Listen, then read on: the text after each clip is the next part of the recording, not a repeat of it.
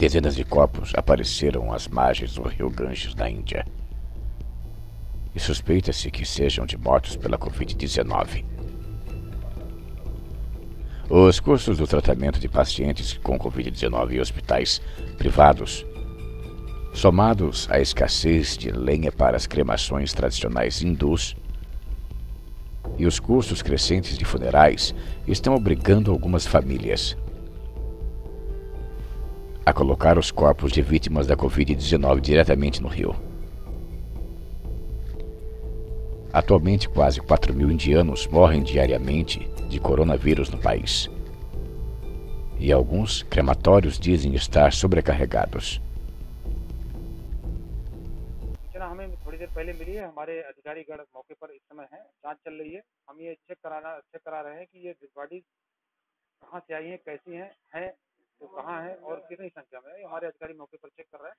हम थोड़े समय बाद आपको अपडेट इसकी जानकारी प्रशासन को पहले दे दी गई थी कि यहाँ पर लकड़ी के अभाव में और जो है लकड़ी के अभाव में यहाँ पर जो है जल प्रवाह किया जा रहा है जिसमें गहमर करहिया खुदरा बिहार के सीमावर्ती इलाके पचौरी सायर ये लगभग 12-13 गाँव के जल प्रवाह यहाँ पर हुए Alguns corpos já estavam no rio.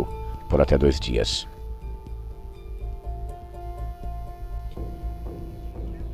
E os moradores só perceberam por causa do mau cheiro.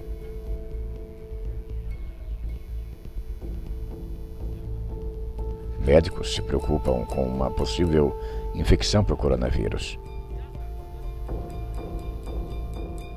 Por causa da água contaminada.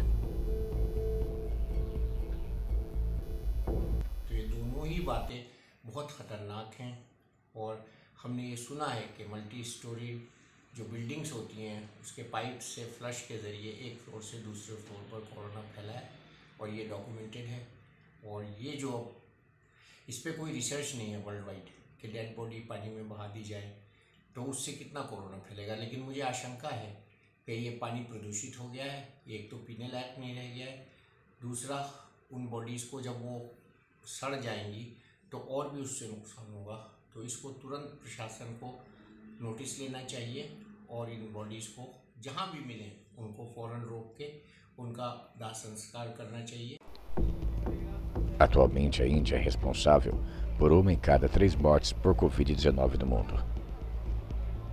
O sistema de saúde indiano está sobrecarregado. Apesar dos cilindros de oxigênio e outros equipamentos médicos enviados por outros países. Mesmo na capital, Nova Delhi,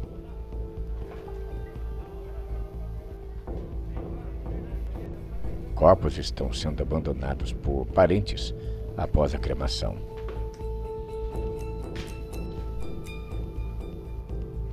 Assim, voluntários têm que levar as cinzas, rezar sobre elas e dispersá-las. No rio, na cidade sagrada de Haridwar, a 180 quilômetros de distância.